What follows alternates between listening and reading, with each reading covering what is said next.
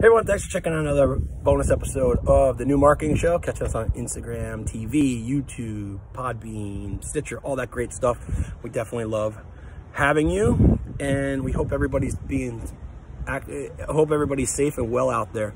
So, I've been thinking a lot about, you know, just the lay of the land in business lately, and it seems to me that businesses are right now in one of three categories. You know, right now, either you're fighting a war to stay alive, you're fighting smaller battles, or you're in an all-out knockdown bar fight situation where you're doing every single thing you can to scrap and survive to get by. I think the key to any of this is recognizing where you are, what stage. Are you in a war, a battle, or a bar fight?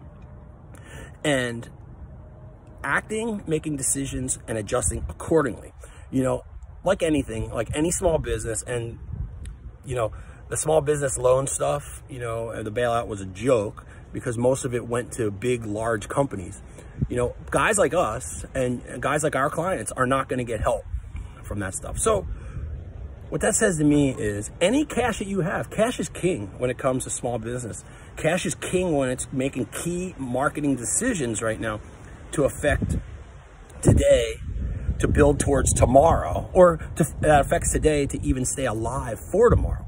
So do whatever you can to stay alive if you are in that latter, that bar fight, you know, whether it means, you know, find out who you're helping, find out how you can help them. Maybe, and here's just an idea, maybe you go ahead and you offer stimulus pricing for some of your clients. You know, you know that there's some of that money that people may want to invest, don't know. So it's one of those things where, you know, the people who strategize and the people who recognize where they are are the ones who are going to prosper, the ones that are going to come out of this. Now, you know, it, it's, it's one of those situations where, you know, downsizing some markets is probably a good thing but not at the risk of ruining the economy or ruining your company, ruining your brand. So recognize where you are, act accordingly, make something happen. Hey, thanks for checking us out. We'll talk to you soon.